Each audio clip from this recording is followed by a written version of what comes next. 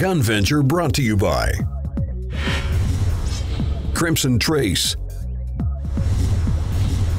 Sig Sauer, and Double Tap Ammunition.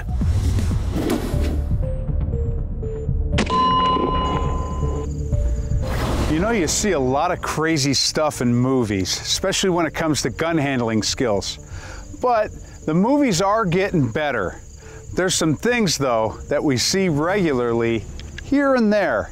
The first thing is you see some really crazy stuff when people hold guns. Sometimes you'll see people hold their gun and they'll actually hold their wrist like this when they're shooting, because that might give them some extra stability. Then the other thing you'll see is people turn the gun completely sideways. Heck, they'll sometimes they'll even hold it up above their head. I can't hit stuff with two hands, but it makes it a lot easier with two hands. So if I was gonna hold the gun, I would put two hands on it as often as possible. So from here,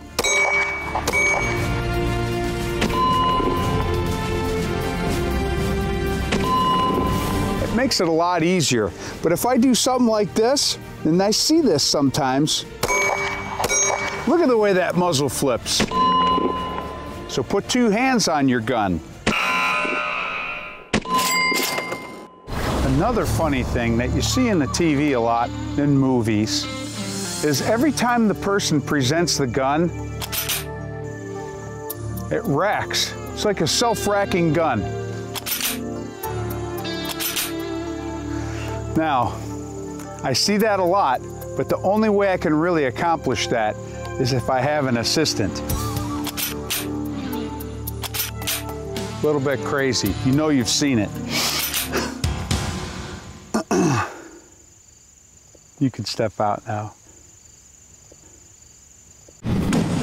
Another common thing that we see that's kind of the opposite of the self-racking gun is the gun that's never chambered, it's never charged. So every time it comes out of the holster, they rack it. If they come into, uh, they run into a bad guy, the gun comes out, they rack it. You know, and it's, I don't understand why these people aren't carrying rounds in the chamber.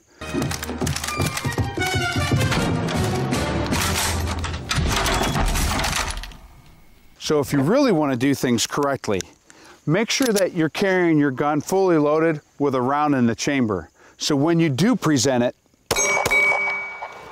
it's ready to go and you don't have to worry about racking it. If you've watched enough movies or TV, you've definitely seen the whip with the pistol. Now I gotta, I gotta admit, when I was a little kid and I watched cowboy movies, I thought for sure that when they were shooting and doing this stuff, that that was definitely making the bullets come out faster. I come to find out that's not the case.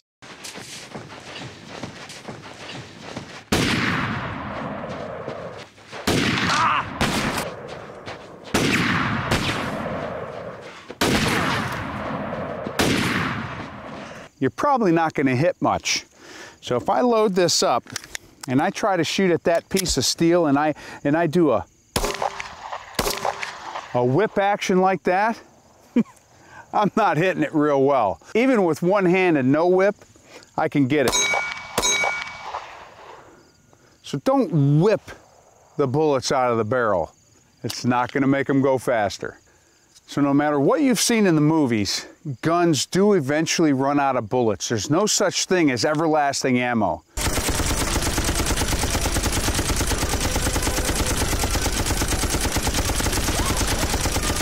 If you're gonna carry a gun and you're gonna have a smaller gun like this, you're best to have at least two magazines.